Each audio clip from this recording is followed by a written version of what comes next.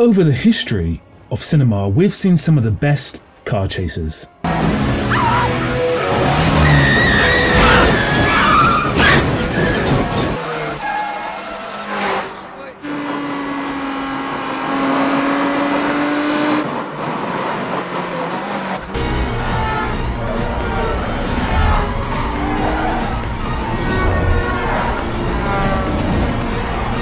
and the worst.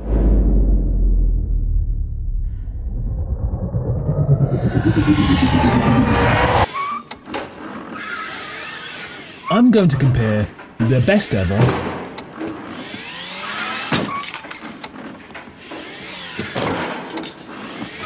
to the worst ever.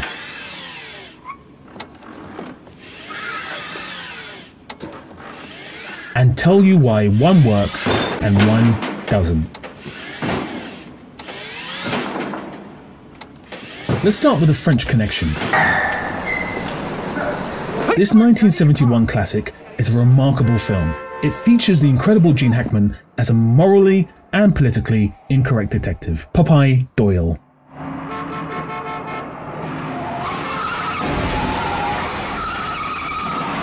Who will stop at nothing to bring down a criminal syndicate in New York.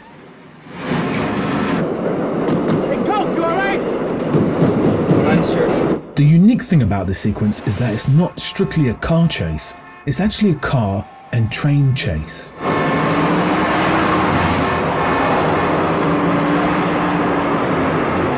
The scene consistently uses a car's POV to bring you into the action, close-ups of the acceleration being pressed down, and reaction shots of Gene Hackman.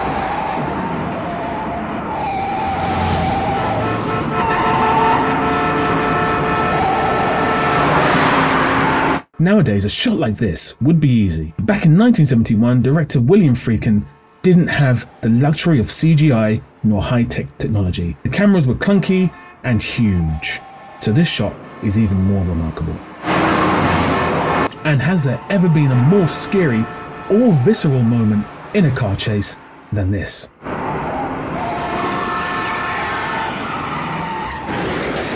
An incredible scene in a truly brilliant film.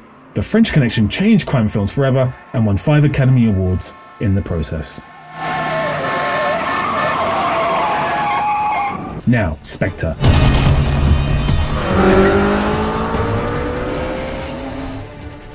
The 2015 James Bond film directed by Sam Mendes. Spectre as a film has numerous issues, the main issue being it's very boring, but this car chase has a few problems of its own. One being that it's boring. Oh, you're gonna be kidding me. But why is it boring? Well, firstly, there are so many pointless cuts. We cut to the expressionist James Bond continuously. Also, this scene plays like a comedy scene, and. No. It's not funny. Now, compare Doyle to James Bond. Chalk and cheese. One is adding to the franticness and the tension, the other barely looks in danger. Now, granted, James Bond is not meant to look in danger, he's a cool, collected customer, but for this scene in particular, it really takes away from any sense of tension or anticipation.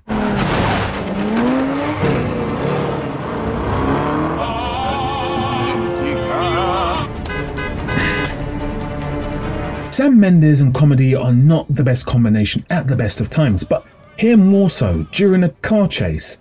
It brings what already is a low key chase to a grinding halt. And criminally, it ends like this.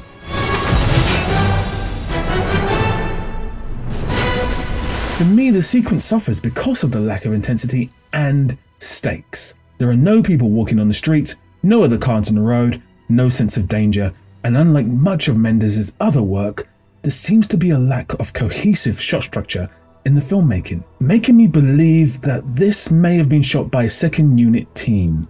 Now, what makes this sequence even worse is that in the same year we had this.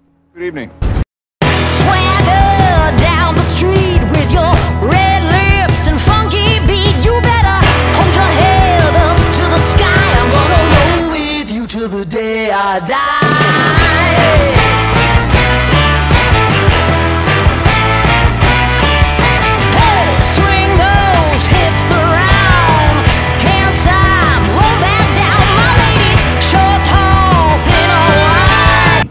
2000s, there's been this over reliance on CGI, and car chases seem to have suffered the worst.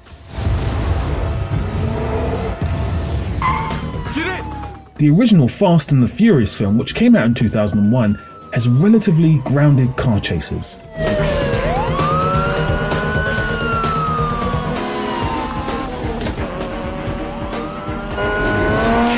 Whilst not the best car chases ever, the action is believable and again visceral.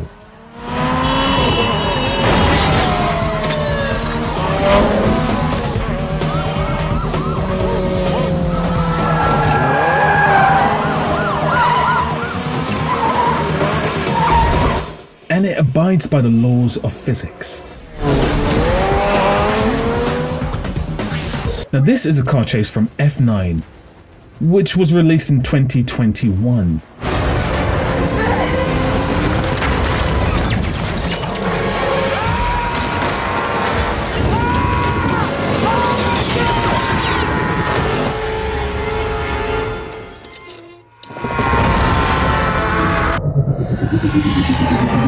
What we have is this a CG warplane carrying a CG car, CG helicopters, CG environment, CG rockets, followed by one of the stupidest moments in cinema history. No, no, no, no.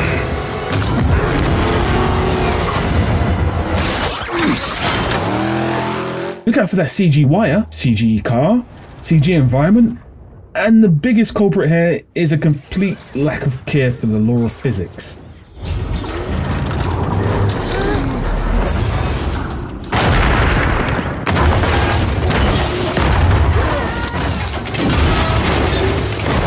Yet that is not possible. This scene from The Matrix Reloaded, which is a pretty average film all in all,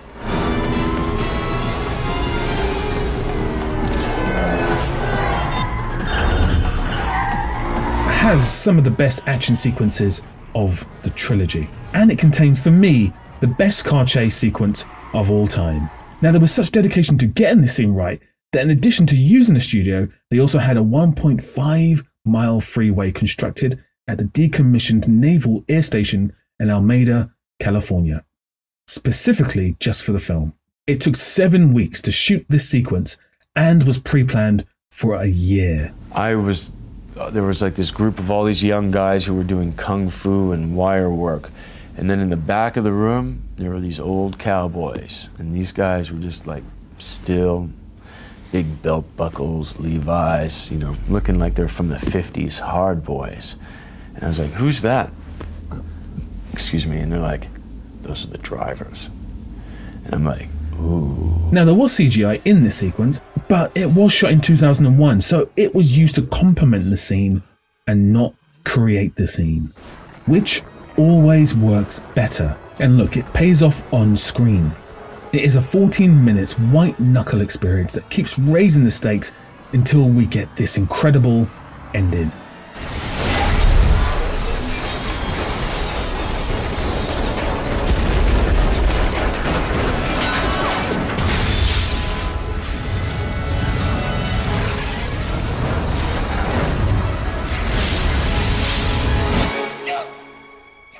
Now, creating a car chase sequence is no easy feat whatsoever, believe me. With film and CGI consistently changing, you have to keep on top of the game. Things like stuntman safety, crew safety, car safety, and timekeeping need to be considered while shooting a car chase sequence, which is why a lot more films nowadays are using CGI as opposed to real time practical effects to create sequences. Not many directors in the world right now could demand to make a 1.5 mile constructed highway to shoot a car chase sequence that takes seven weeks. Most films or TV shows are now shot within four to eight weeks. Seven weeks to shoot just one 14 minute sequence in a two hour film is unheard of in modern film. But as you can see, it really pays off. And that's why nowadays we get chase sequences like in Spectre and F9. It's fast food filmmaking, churning out the processed meat for public consumption as soon as possible. The key word here is visceral. Whether it's combat or car chases, it needs to feel visceral.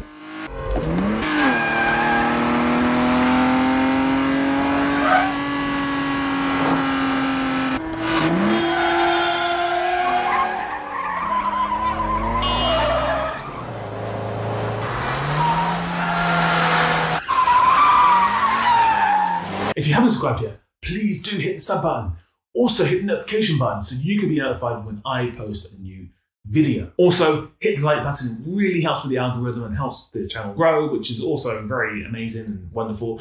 If you do want to join and be a member of the channel, there's now an option to do that on my community page and on my page in general. You can hit on the join button. Uh, there's loads of lovely benefits for you. You get a little badge. You also get exclusive content eventually when I make some.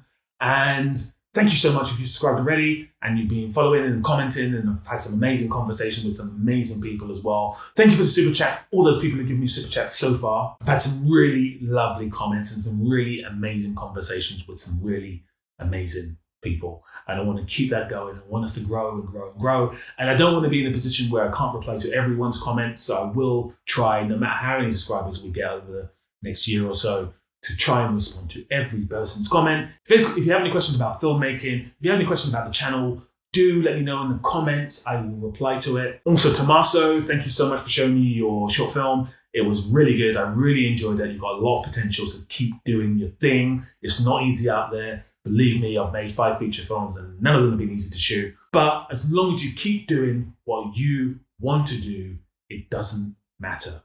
Listen, it's amazing talking to you guys. Uh, there's some videos over here. And until we speak again, big love.